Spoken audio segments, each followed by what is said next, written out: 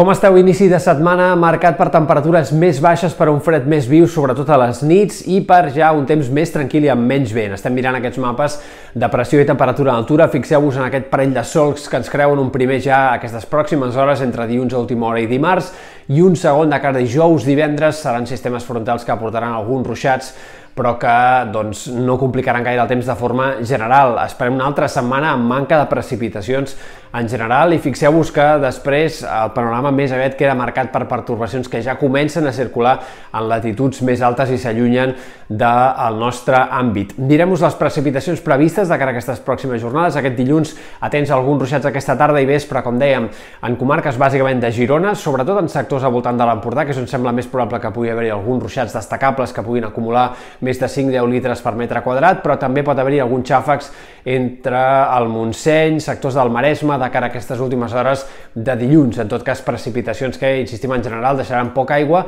en alguns casos poden arribar a acumular més de 5-10 litres per metre quadrat puntualment. També algunes nevades al Pirineu, en aquest cas no tan concentrades al Pirineu Occidental, sinó més aviat en sectors de la Cerdanya, el Ripollès, és on pot haver-hi alguns gruixos una mica més significatius de neu durant aquestes eh, pròximes hores, encara que siguin eh, com a molt 2, 3, 4, 5 centímetres a tot estirar i en cotes altes. La cota de neu es mouria al voltant dels 1.500-1.600 metres de cara a les pròximes hores. Si ens mirem mapes de dies següents, aquest dimarts encara es veuen algunes traces de precipitació en el mapa, però serien de la matinada a primeres hores, per tant temps més tranquil i assolellat aquest dimarts en general també de cara a dimecres i, com dèiem, dijous i divendres un altre sistema frontal que passa i que en aquest cas deixarà sobretot alguns ruixats cap al Pirineu Occidental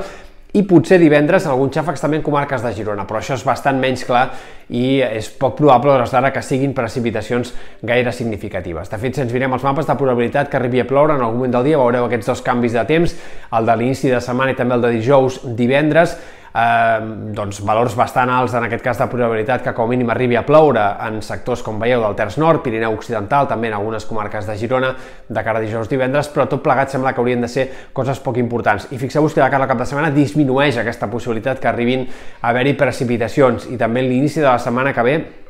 hi ha poques possibilitats que arribi cap canvi significatiu. Per tant, molt probablement ens plantarem el dia 15 amb aquesta manca de precipitacions en forma general. I de fet, si ens mirem els mapes de probabilitat que plogui amb una mica, o nevi amb una mica més de ganes, més de 5 litres per metre quadrat, doncs fixeu-vos que d'aquest dilluns sí que tenim la probabilitat alta cap a sectors del Pirineu, sobretot al nord de la Serlada, i de cara a dijous el canvi de temps, però de dijous i divendres sembla que només deixaria alguns ruixats més destacables o només és probable que sigui així en sectors del Pirineu més occidental. Per tant, males perspectives, una setmana més pel que fa a precipitacions, fins i tot sembla que arribarem al dia 15 de novembre amb aquest panorama sense noves pluges i per tant amb aquesta sequera que es va greujant, que cada cop es complica més pel que fa a reserves a les conques internes de Catalunya.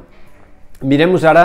mapes ja de temperatura de cara als dies vinents, moviment de masses d'aire, fixeu-vos, entrada d'aire fred aquestes pròximes hores, temperatures més baixes, es reactivaria en menor mesura l'entrada d'aire fred de cara a dijous divendres, però a llarg termini s'insinua una entrada d'aire més càlid que provocaria un estiuet eh, en el tram final de la setmana, inici de la setmana que ve. Tot això sembla que no arribaria aquesta pujada de les temperatures fins diumenge, dilluns, primera part de la pròxima setmana. A curt termini el que hem d'esperar és un ambient més fred, a les nits sobretot. Aquestes dues pròximes nits, de dilluns a dimarts i la dimarts a dimecres, seran les més fredes de la tardor fins ara. Hem d'esperar glaçades ja no només al Pirineu, sinó també en alguns sectors de la Catalunya central, fundades al prelitoral, moltes temperatures per tant per sota dels 5 graus en aquests sectors i alguns valors fins i tot lleugerament sota zero, ja no només insistim al Pirineu, sinó també puntualment en alguns sectors de la Catalunya central.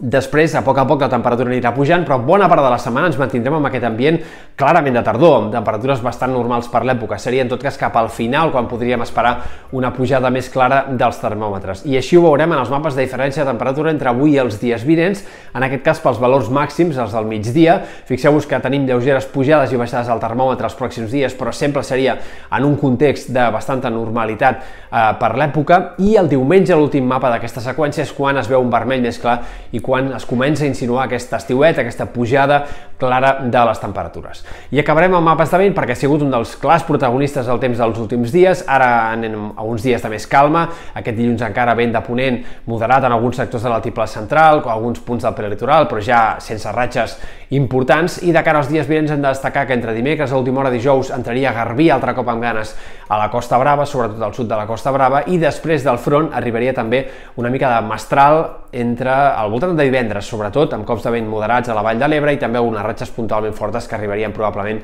cap a cotes altes del Pirineu. Ho anirem seguint tot plegat, acabem aquí com sempre amb un parell de les fotografies que ens envieu.